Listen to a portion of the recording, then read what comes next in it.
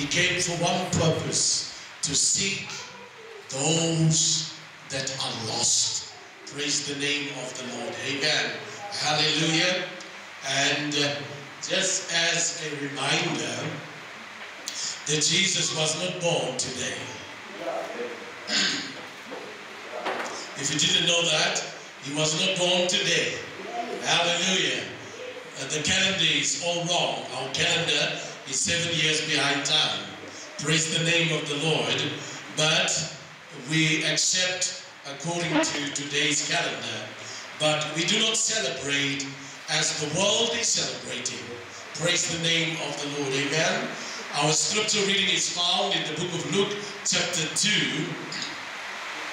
and verse 7. Praise the name of the Lord. Amen. Now, just to quickly lay a foundation, in the book of John, chapter 1, the Bible says in verse 3 that all things were made by him. Everything that we see, visible and invisible, was made by him, referring to the Lord Jesus Christ. Amen. Hallelujah.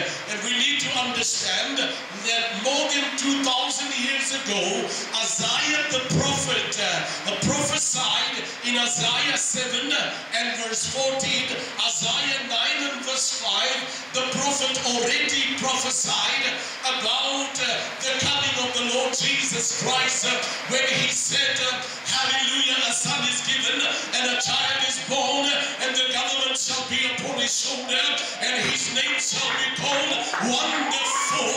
That's why the world is still wondering who he is. Hallelujah. Praise the name of the wonderful. Hallelujah. The world and people, the learned people, are still debating who he is. Praise the name of the Lord. But we do understand that he is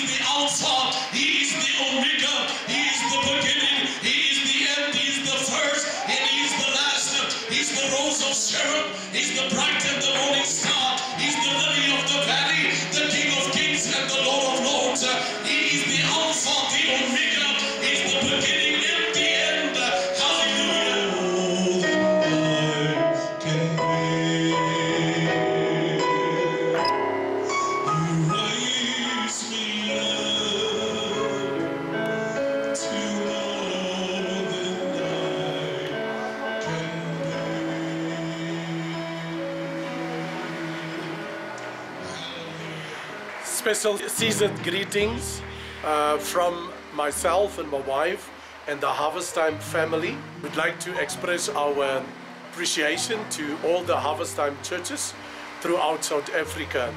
We want to say special season greetings uh, to all the Harvest Time uh, churches and family. Uh, may the Lord richly bless you in this time of celebrating the birth of the Lord Jesus Christ. May you have a blessed day and season to all the Harvest Time families and friends.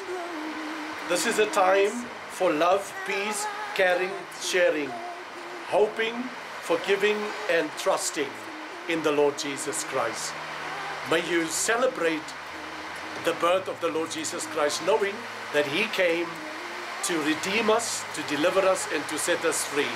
So, once again, may the Lord truly bless you in this uh, special day where we celebrate the birth of the Lord Jesus Christ. We would like to do a special prayer for each and every one of our fellow citizens throughout South Africa. May the Lord guide you, keep you, protect you from harm, and may you have a safe uh, traveling mercies throughout the country. Yourself and your family, may God truly bless you.